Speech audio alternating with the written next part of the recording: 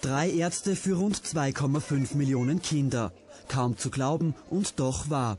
In Afrika sterben nach wie vor täglich fünf von zehn Kindern an einer harmlosen Infektion. Seit fünf Jahren kämpfen oberösterreichische Ärzte dagegen an. Jetzt soll ein Buch die Geschichte der hilflosen Kinder erzählen.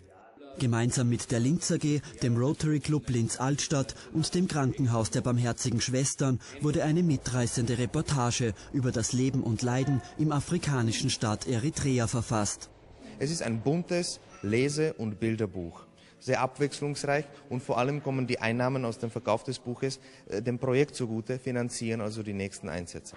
Rund 2000 Stück gibt es derzeit. Um nur 20 Euro ist das Werk in den Buchhandlungen Thalia und Alex erhältlich. Ein persönliches Anliegen war das Projekt auch dem Linzer Generaldirektor und ehemaligen Rotary Club Präsidenten Alois Froschauer.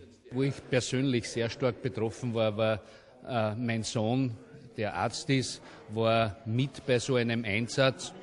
Und alleine von den Erzählungen, von den Fotos habe ich gesehen, wie wichtig dieser Einsatz ist und wie erfolgreich hier geholfen werden kann und wie dankbar diese Kinder und die Eltern dieser Kinder sind.